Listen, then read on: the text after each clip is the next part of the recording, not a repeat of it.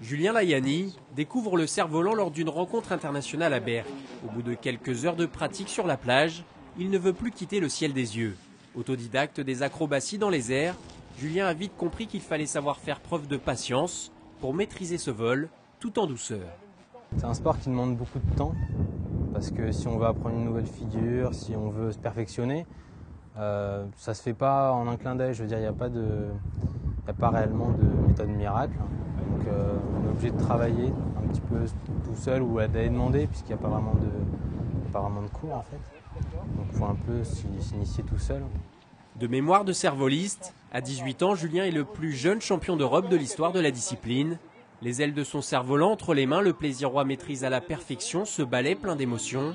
Le temps d'un instant, son aigle de toile épouse les notes de musique avec une légèreté déconcertante.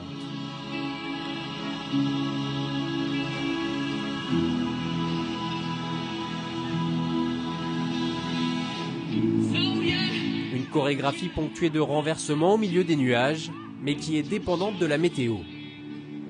C'est vrai qu'avoir du soleil, avoir un vent régulier, c'est quand même appréciable. Après, on peut quand même pratiquer le cerf-volant dans des conditions très difficiles, donc même s'il pleut, si le vent est très fort ou s'il est très faible, alors il y a des limites en compétition. Compétition, c'est 4, 4 km/h en minimum, 45 en maximum. Julien se classe finalement troisième de la manche régionale de plaisir. La discipline compte quelques 300 licenciés en France, dont une cinquantaine s'adonne à la compétition.